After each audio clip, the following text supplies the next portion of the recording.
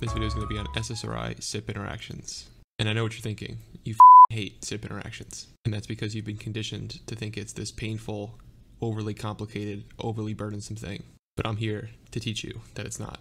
You can do this. It's easy. Drug drug interactions are a super important thing. I think an unfortunate consequence of prescribing through an EMR is that providers become completely numb to warnings. I'm sure if you've ever used an EMR, you've clicked through a million of these and you no longer read them because you've been trained to not read them. So, first, let me talk about why I think people think that CYP interactions are so complicated. And that's because they're presented in charts like this. I mean, look at this thing. What the f is one plus sign? What is two plus signs? What is three plus signs? It's, it's, it's nonsense. And then to top that all off, there are question marks in the chart. And how the f does a plus minus sign not deserve a question mark if you're using question marks? But even if you're some freak of nature who's willing to shove these plus signs and question marks and random numbers and letters into your head, to make matters even worse, I've never seen two charts that have the same number of plus signs or agree on what the interactions are. There are reasons that these differences exist amongst the charts, but I don't want to turn this video into an even angrier rant against Big Pharma. So I want you to learn the important parts of the CYP interactions without having to look at a migraine-inducing chart.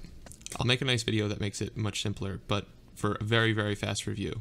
CYP enzymes metabolize drugs, which typically they just take the drug and they modify it don't let yourself get overwhelmed when you hear words like oxidative or reductive or hydrolytic modifications. It's just saying that the drug is being modified. The vast majority of drugs are modified in a way that makes the drug inactive and allows the body to excrete it. But it's important to keep in mind that some of the modifications create metabolites that are also active. And in the case of what's called a prodrug, the CYP enzyme will take an inactive drug and modify it in a way that is active. But the important part to take away is that the drugs that go through the CYP enzymes are called substrates. So let's list out the SSRIs. There's paroxetine, fluoxetine, fluvoxamine. There's sertraline, and then there's citalopram and escitalopram.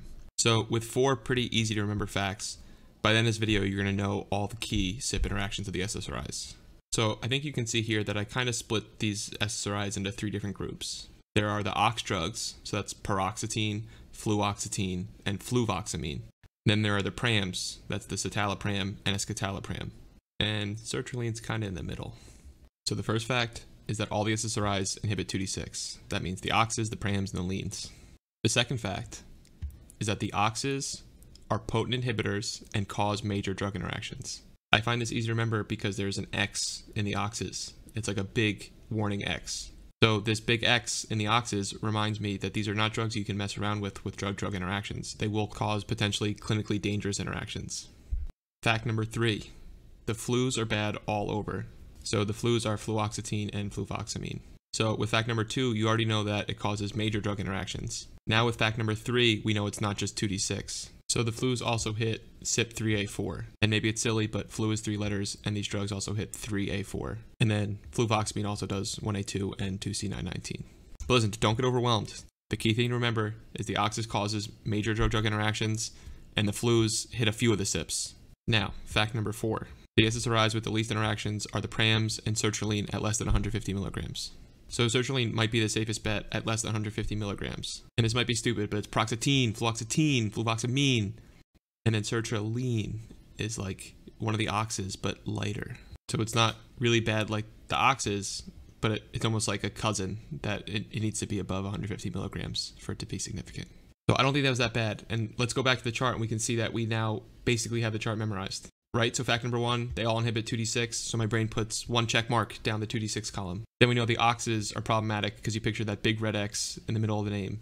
So boom, we see the three check marks on fluoxetine and three check marks on paroxetine. Then fact number three, you know the flus are kind of bad all over, and then it's flu, which is three letters, so 3A4. And then fact number four reminds us of the drugs that are on the safer end. So I'm going to quickly go one small step further to think about how to think about the drugs it interacts with. And this won't be exhaustive, but I think it's just going to show you a way to approach it so that it's manageable. So here's a ridiculous and overwhelming list of the drugs that are substrates of 2D6. So now the truth is whenever you add a drug, you should be looking at a drug-drug interaction checker. But I review this because I think it's helpful to have an instinct for which drugs are not appropriate to mix. So looking at this list, your brain's not processing it. So you need to take it and make it simpler. So the drug classes that I see, I see antipsychotics, I see TCAs, I see antiarrhythmics, I see beta blockers, I see opioids, I see tamoxifen. But even that's going to confuse my little brain. to take it one step further. I see heart drugs, I see psych drugs, and I see painkillers. So we obviously didn't learn everything here, but I think we started the process of extinguishing the conditioning you have for the pain of drug drug interactions. Thanks.